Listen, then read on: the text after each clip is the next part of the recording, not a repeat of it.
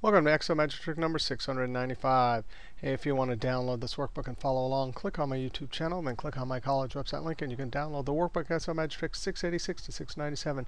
In this trick here, uh, Meldoc at the Mr. Excel message board found an error in YouTubers Love Excel video number one. Here's the setup in that video. We had a cost of $55. We had three attendees. And we wanted to assign or allocate this cost across um, attendees or any category. We're, we're taking a total cost and allocating it across number of categories.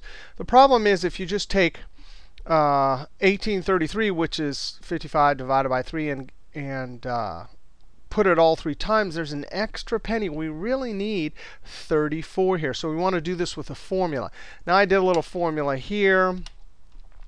And, uh, you know, many numbers work. 45, uh, 25.75. So those all work. But some numbers don't. If we try 42.5, what? The total down here, the formula down here uh, sometimes would not calculate correctly. It would be off a few pennies. And that's the whole point of this formula is to not be off by a few pennies. All right, um, mikerickson at this post right here, uh, Mr. Excel message board came up with a great formula.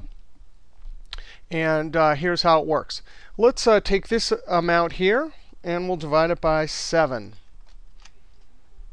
So we get 62.338, so it's 34. So if we did 62.34 and added them all up, we would get, oops, we're a penny off. And we're not allowed to do that. This needs to be a different amount.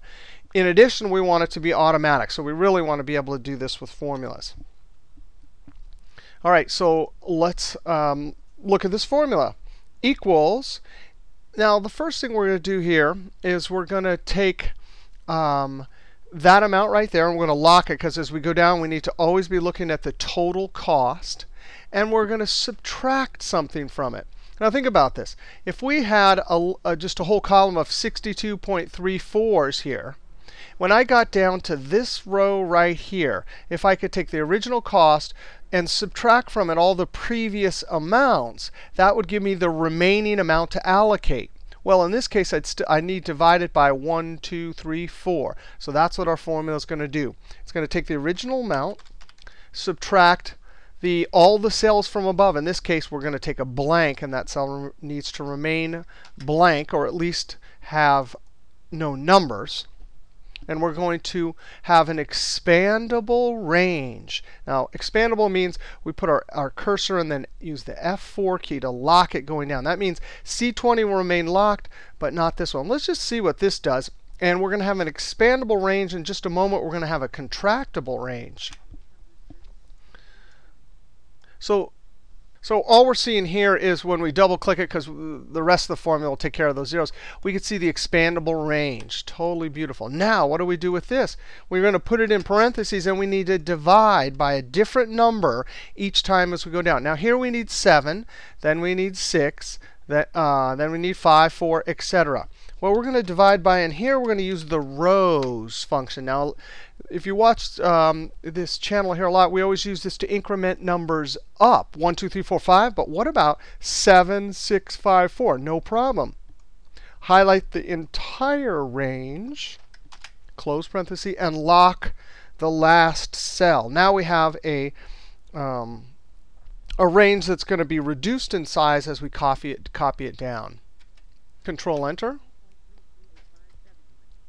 copy it down.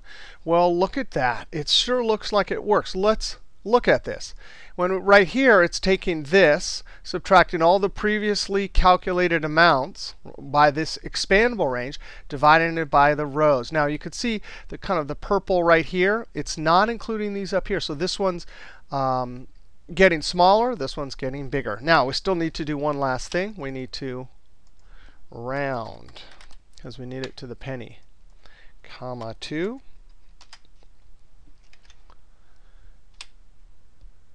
Um, I do that always when I do the, the, tab to enter it. And there was a parentheses already. And when you hit tab, the round just takes that parentheses. So it actually needed that a second one. Control Enter. And sure enough, now, look at that. It got it just right. One formula all the way down. Now, you know, if you have this one or two times, who cares? You do it by hand. But if you're an accountant, you're doing this kind of thing all the time. Boy, does this help. Let's go ahead and put a rand function up here, randomizing function.